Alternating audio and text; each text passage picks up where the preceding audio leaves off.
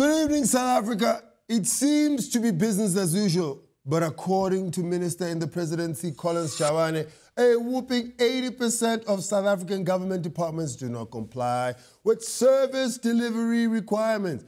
I mean, we all know things are not uh, uh rosy, happy-go-lucky, but 80%. Basically, if there were 10 children, only two of them can talk. The other eight will just be drooling. Uh, well, uh, uh one plus one.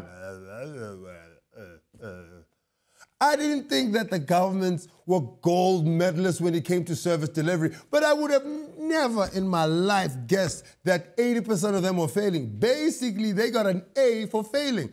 And the government, the same government, promised us 5 million jobs by 2020, and we all know that's not going to happen anytime soon. South Africa, just be thankful, man. Even that 20%, take it, run, and become. And you know what they say a bird in a hand is worth two in the bush, even though the bird has tuberculosis. Ish. And do you want to know who the worst performing departments were? The departments who went above and beyond the call of duty to mess things up the guys that succeeded at failing at service delivery, the Usain Bolts of failure. Let's have a drum roll, South Africa. It's the departments of water affair, public works, and right at the bottom of the list, and the champion of all departments goes to Department of Women, Children, and People with Disabilities. As if that's not having a horrible time already. These people, eh, women, children, and people with disabilities are having a tough time. Now they have incompetent people looking after them. Awalulu, awalulu, man.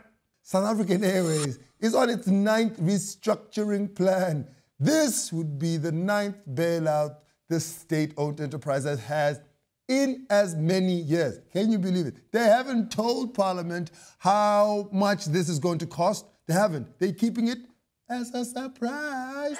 SAA. Uh, no SAA is like that cat you find in the township. That's just walking all the time. No one knows where the cat is from, who owns the cat. The cat just comes out of nowhere. Mm, and that cat, when the cat comes, you can be talking about the petrol price, but the conversation will change to witchcraft. Immediately, you go from petrol price to witchcraft. And the cat always got one eye something, something missing. It's never a full cat. It's always missing something. But it always gives you that look of, I know what you did yesterday when because it saw you at night. And then you have to call the cat to the side. Look, cat, let's just between me and you. And the cat like, yeah, as long, as long. Why do we still bother with SAA South Africa? Why? Why? Hmm? Why don't the people just walk? Why don't the people use boats? Hmm? Walk, you fat bastards. South Africans. I know this is going to make me sound unpatriotic. Hmm? Let's use Kenya Airways. It's pretty good. Makes a lot of money. Good service. Hmm? Hmm? South Africa? No? All right, maybe not. In other bailout news, Auditor General Terence Nombembe has slapped a disclaimer on SABC's financial results.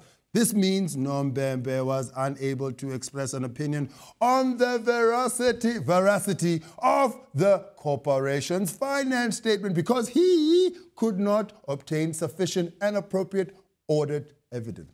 Sounds very complicated, but they don't know what's going on.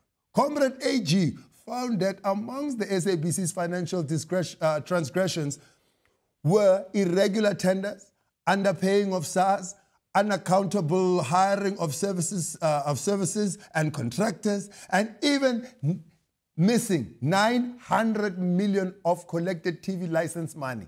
No one knows where it is. Basically, these SABC guys are running a billion rands bazaar shop. Hmm? In other words, the SABC wasted 1.5 billion rand of state's money. No one knows where it went. Gonzo. People check wallets, pockets, at home, everything. Gone, gone.